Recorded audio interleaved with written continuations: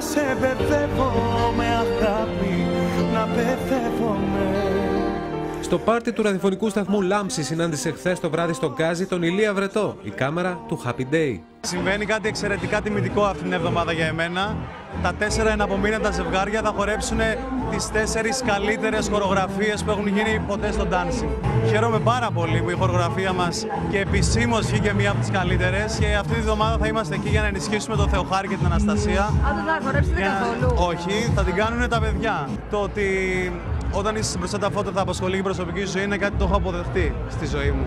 Όταν είχα πρωτοξεκινήσει ήταν κάτι το οποίο με άγχωνε και με εκνεύριζε. Πλέον είναι κάτι το, το οποίο το έχω αποδεχτεί σαν μέρος της καθημερινότητά μου. Επειδή γενικότερα είμαι πολύ θετικός άνθρωπος, πιστεύω πολύ στο μπροστά, πιστεύω πολύ στο μετά και πιστεύω πολύ στο ότι έρχονται πολύ ωραία πράγματα. Όχι μόνο για μένα, για όλους. Γιατί περνάμε μια δύσκολη περίοδο σαν χώρα. Την προηγούμενη χρονιά συνέβησαν πολλά. Άλλαξα συνεργάτες, ε, άλλαξα, άλλαξαν πράγματα στην οικογενειακή μου κατάσταση.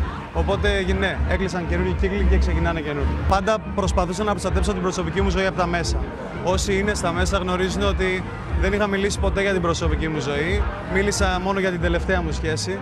Ε, και αυτό γιατί ήταν μια πολύ υγιή σχέση και περνούσα καλά και αισθάνθηκα ότι θέλω να το μοιραστώ εφόσον είχε πάρει πολύ μεγάλη έκταση και πολύ μεγάλη δημοσιότητα όλο αυτό.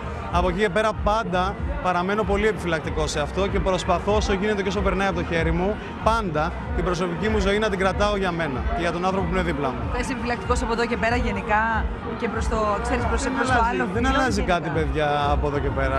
Όπως ήμουν πάντα, έτσι θα είμαι και τώρα. Οι χαρακτήρες δεν αλλάζουν, οι άνθρωποι δεν αλλάζουν. Σας ευχαριστώ πάρα πολύ για το ενδιαφέρον και το σεβασμό σας. Και επειδή καταλαβαίνω ότι θέλετε να ρωτήσετε κάτι τέλος πάντων, αυτό που έχω να πω είναι ότι ό,τι ήταν να πω, το είπα. Όταν θελήσω να πω κάτι περισσότερο γι' αυτό, να είστε σίγουροι ότι θα το κάνω. Μόνο μαζί σου ονειρεύομαι Καρδιά μου